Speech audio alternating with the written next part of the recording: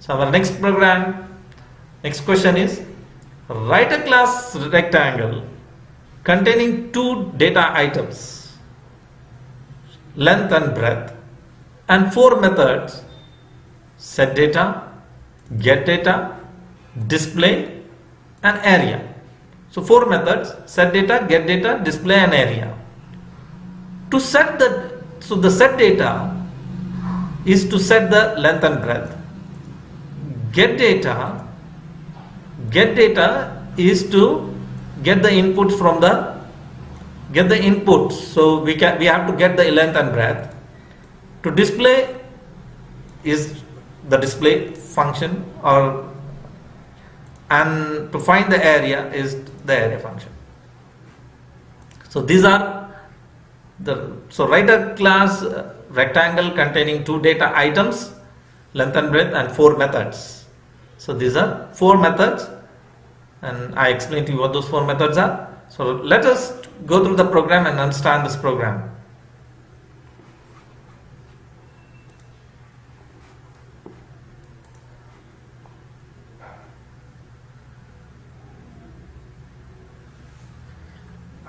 So you can see here I've, I've created a length and breadth to data items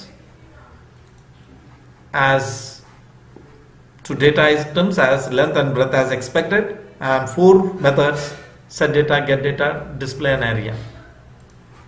So set data get data display and area.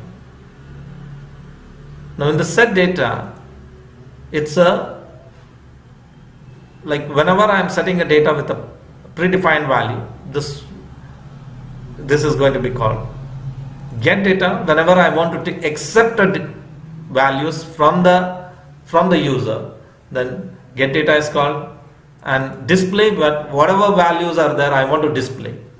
I will call the display. In fact I am also displaying area. I, I don't think it is required but because we have area as a function so we can actually comment this out. Then area is there so which will calculate the area so let us actually execute this. And one more thing I would do I would better put this below.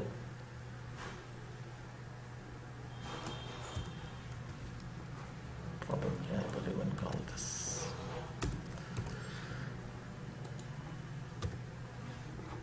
Okay let us execute this. Compile it. Compiled. Build and execute. Okay so let us understand the program.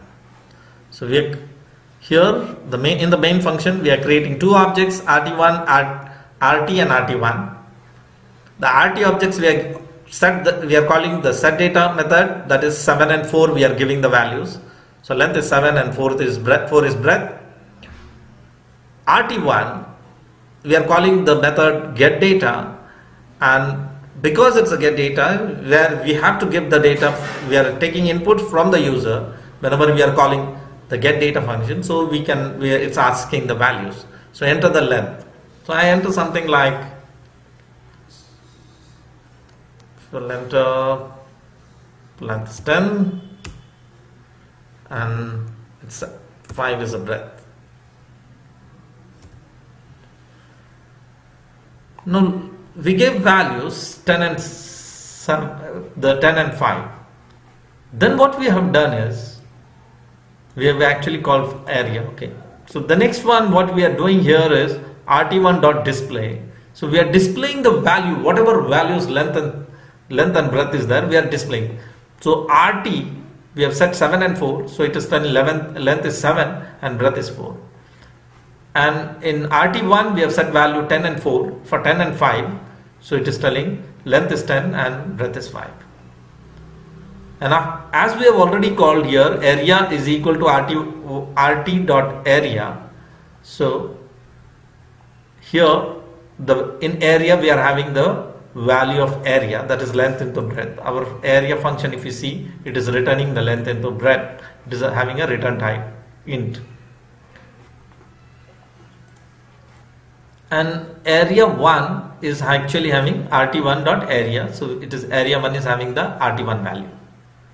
Now what you can see here so area is equal to 28 that is 7 fours are 28 and 10 into 5 is 50 so area 1 is 50 that is rt1 is 50 so I hope it is very clear. It's a simple program. You probably maybe have to maybe interested in writing it so you can write it down it's a simple program.